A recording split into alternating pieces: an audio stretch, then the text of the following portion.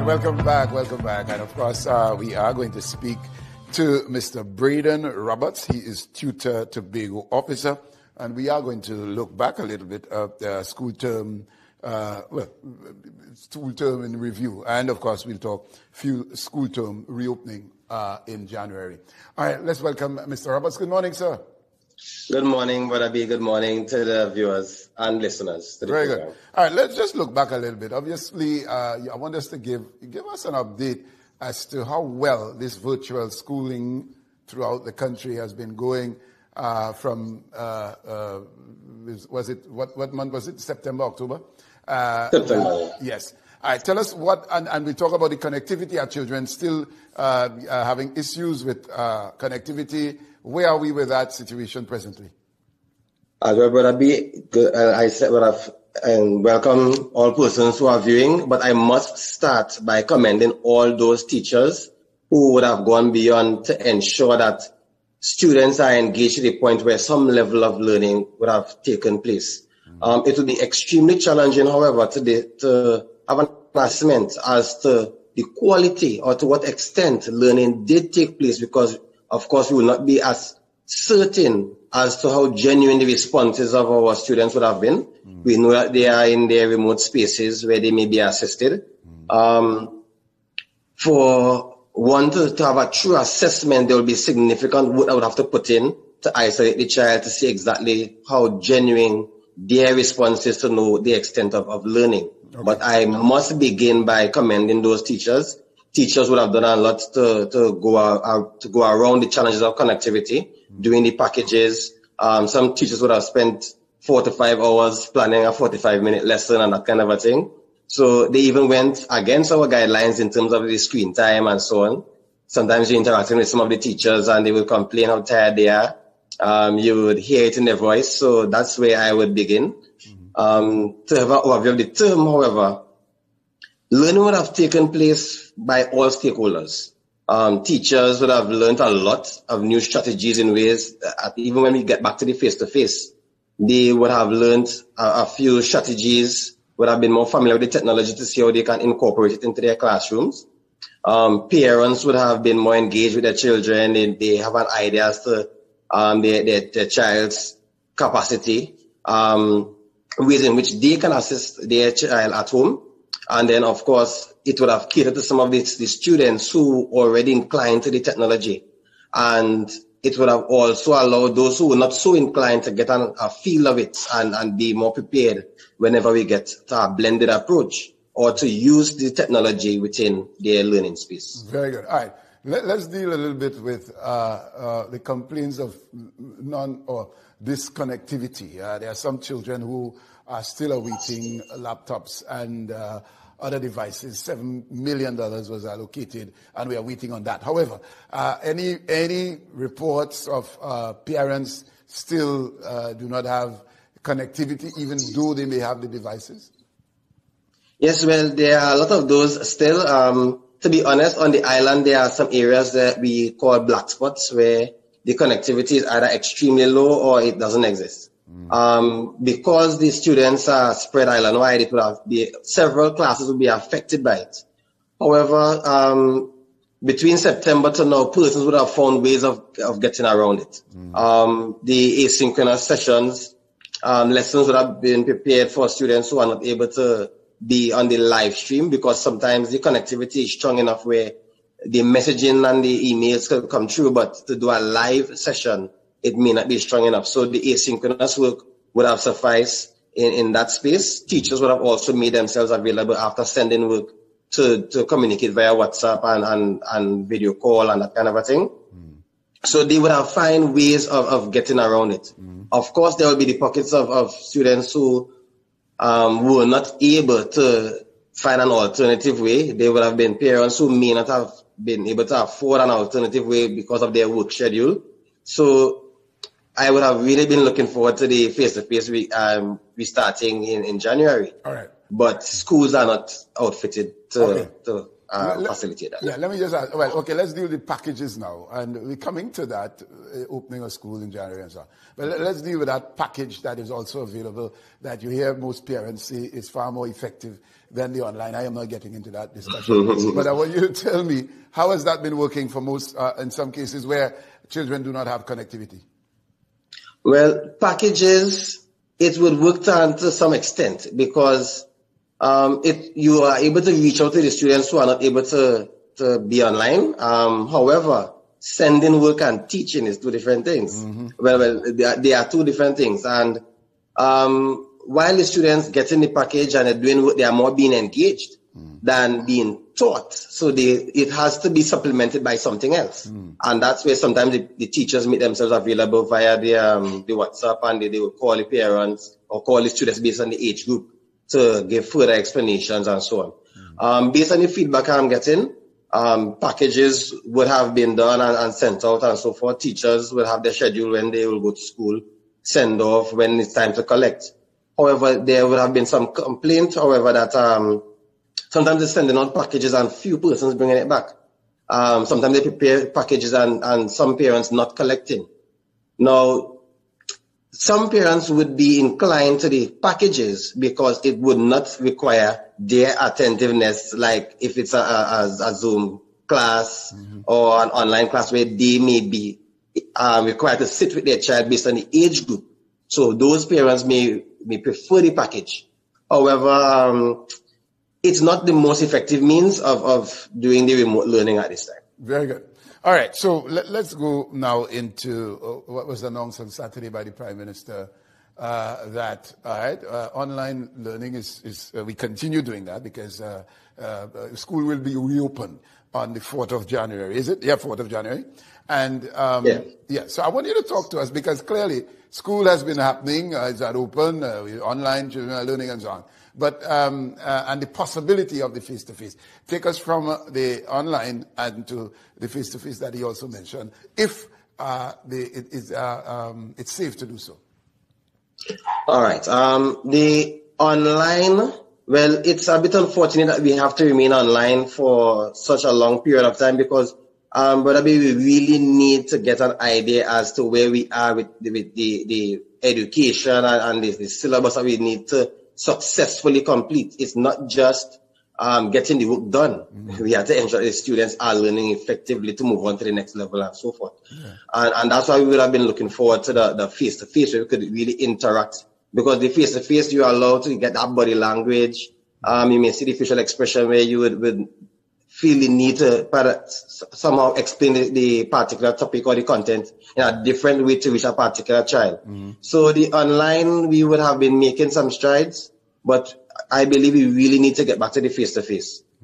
Unfortunately, as I mentioned before, schools are not outfitted for, for such. Um, as persons may be aware, we are one of the few professions where we take our resources to school. We have been assisting in, in upholding the, the education system for some time. And it is even worse when we have to consider blended learning. Um, I, am not certain there's any school with, on the island that could facilitate all students being in school and using the internet at the same time. Mm-hmm. I know that the division would have been seeking ways to upgrade the system. However, um, it's insufficient. And the funds that the Division of Education been getting over the years um, would have been way short of what they need to do because the division has a, a wide mandate whereby it's about the salaries for teachers, um, the repairs of the school program, supplies to school, and they have been trying to ration, which results in, in teachers mm-hmm. now have to be putting their resources as well okay. to help uphold it. All right, let's deal with standard five and is it standard five and form four uh, that can and will go out uh, physically uh, with, with some caution. Talk to us about the readiness you mentioned there about uh, infrastructure at the school may not be up to scratch. Tell us, uh, are there schools in Tobago that you can identify that needs to be uh, maybe benches, I don't know, whatever is needed as, your, as you represent the schools in terms of getting ready for that possibility of January 4th? All right, so it, it will be a lot easier if you have selected classes come out, as they would have done for the SEA um, preparation, they were able to secure safe spaces that the students would be able to utilize. Um, it is easier to prepare the schools, even schools that generally have a lot to do, they can secure areas for which they can be accommodated in a safe manner and that there will be minimal disruptions. Um, also for the blended approach, if you, you bring out a certain number of, of, of students and teachers who operate from school, four or, or, three to four teachers may be able to use the internet where they could be streaming from school, teaching those in front of them, mm-hmm. and also those who are not able to come out can get something.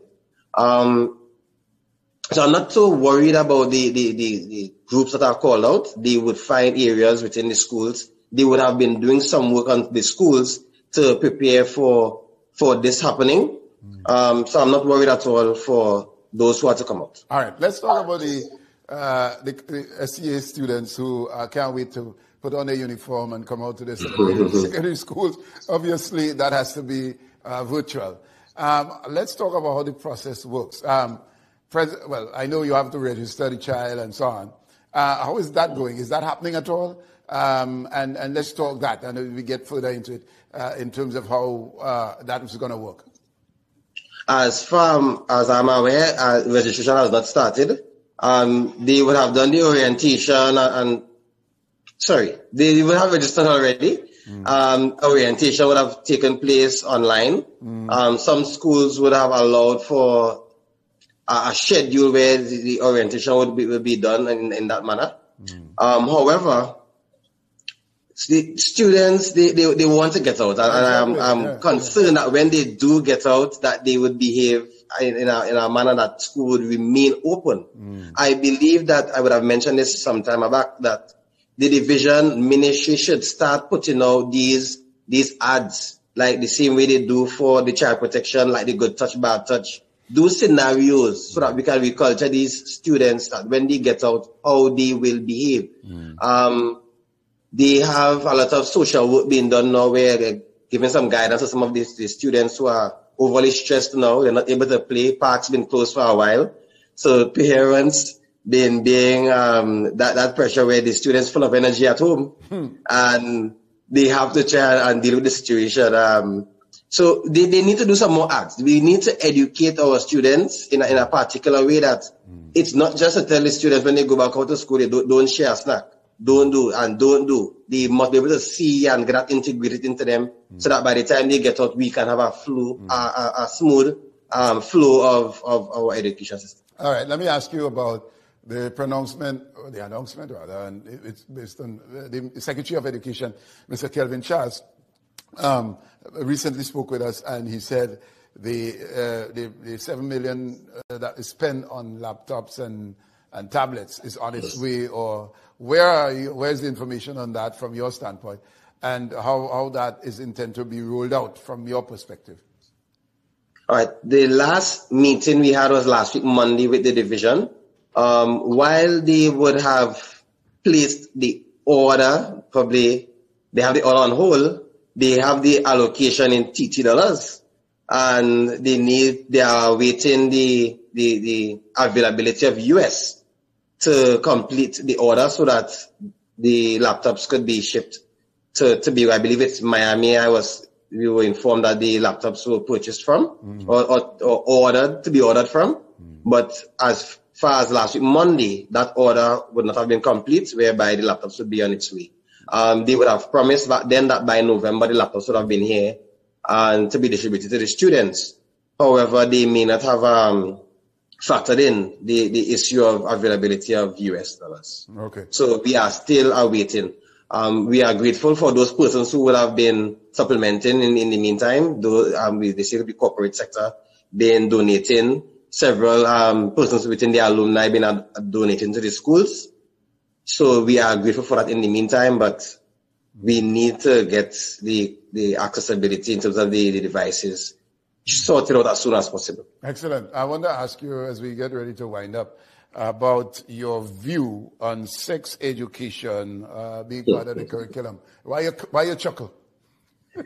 it's, it, it's a very touchy topic, uh-huh. but I will give it a good shot. Um, sex education it needs to be carefully implemented and it should not be forced upon persons to find um, ways in which it could be done. Should, it should be properly well structured, whereby and, a, a, smooth integration is done to have to, to ensure that it is treated with as sensitive as it needs to be because what happens when you have your set structure in place and students start probing for more answers and start probing? How far do you go with the topic? Mm. So it's it's something very touchy um, to say that the, there should be there should be some degree of it, mm. but it should be carefully implemented, and it's something that careful study should be done before. Mm. Um, in terms of putting out the the content that should be covered or how far the discussion should go, that should be carefully communicated to the teachers who are to, to do such. Mm-hmm. And from there we can assess how far to go with, with, with the All right. Uh, let, me, let me ask about the response from your colleagues in the union, in the TTUTA. In TTUTA. Uh, um, is there any is there any pushback? I mean, you're saying be cautious as how we go forward and how much information. But from the general body, uh, what are you getting? Is it that they are in support of and have the same view as you, or we should just run straight ahead? And then I'll come back to another point I want to make. All right. So from the various persons I would have interacted with, among um, comments I made, I would have heard um, fellow officers um, put forward. Um, it's not that we are against it because it is important. Mm-hmm. However, it's not something to destroy in because we realize that there's a need for students to be educated at a particular level we, we say, okay, let's do it. And we, we just put forward some topics and hope that teachers do the necessary guarding of the topic that they don't go beyond. Mm. So it is indeed important that some level is done, but it needs to be carefully thought out and, and, and integration is carefully done and, and not something that's thrown in at teachers to have completed. All right. What TTUTA would have done and uh, the Division of Education would have done was to have uh, uh, education on television before the laptops and so on. And I was uh, at a house uh, recently, and I'm viewing a teacher giving sex education and sex about uh, how uh, a woman becomes pregnant, about the uterus, the sperm that leaves from the penis, and she was very blatant, clear, and this was televised uh, to all children, maybe looking on and so on, at all ages. And she, uh, she did a wonderful job. However, based on the information, because this subject is so taboo, everybody in the house looked at the television to see, well, hey, this woman really, you know, telling this truth, telling this truth. So I, I, am saying it has already been done um, on this uh, uh, the, the, the, television. You remember the process that we spoke about when, before it came to being. And I'm looking and it's a teacher from Tobago and it was a Tobago class that was televised nationally. So um, I hear you with the caution and how we're going, but it's already done, sir. Yes, but um, sometimes in, in, a lot of good uh, of, of things that we have with, with good intentions, there are the the the, the issues that would, would, would lag behind it, and it's not to say that there isn't any good in it, you know, and it, it shouldn't be done. However, we need to minimize the damage that could take place because we do not want the, the different ages being too inquisitive and want to find out beyond what the teacher is providing to the students. Mm. So yes, it is important that they are aware of, of, various aspects that are affecting their body, the feelings that they will get as they go up in the various ages, mm-hmm. um, that they will be able to adequately report if they are feeling a particular way, if a particular part of their body is, is, is um, there's a sensation or something that they, they discomforted by that they can effectively communicate. Mm. However, you do not want to provide the information in such a way where they become even more inquisitive and, and start doing their own researches. so yes, it's important, yeah. but there must be some degree of caution. Okay, okay, okay. And, and right. well, you, I, I, would not, have, I would not have seen that televised um, session, but yeah. Yeah. it's, it's, um, concerning because you're not certain what age groups will be watching the television yeah, to know I, how, how, how um, deep to go with your lesson. Yeah, well, I mean, that is what got the attention of the entire household. And we, we looked on and I'm, I'm saying, Uh, there's nothing wrong with that. As, as much as we may think that, uh, because biology is a study of the human body, of course, uh, and, and we do that in secondary school, however, uh, and that's okay because they are, uh, uh, you could consider that age appropriate education. But um, when it is for our, our, our, primary schools and so on, then we can be a little cautious. I hear you, and so on. All right, let me, let me, let me give you an opportunity to wrap. Uh, uh, with, with um, school reopening on the 4th as to parents and teachers? All right. So again, as I started with, with commending the teachers, um, I trust that the teachers will at least take some time within the holiday period to get some rest. It would have been a tough term. I know that um, there are teachers who would want to use their two week or their three week break to make sure that they're adequately prepared for January. I do not want us to, however, use up the vacation period that we, we deserve to get some rest to recuperate, to, to do um, in-depth work to the point where you are burnt out come January.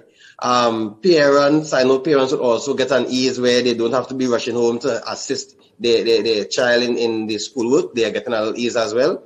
Um, please allow the students during this period to also get their rest time because we want that when we come back out in January, whether it's virtual and February, some persons coming out face to face, that they are adequately rejuvenated and ready to take in the next term.